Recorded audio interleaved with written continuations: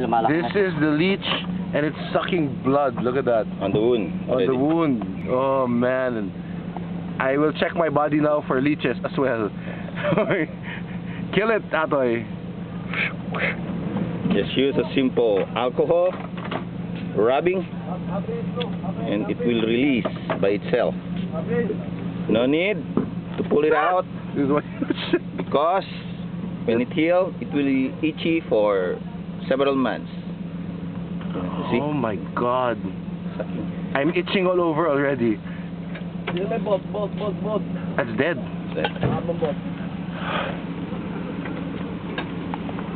Thank you, Atoy, for Leech 101 by Atoy.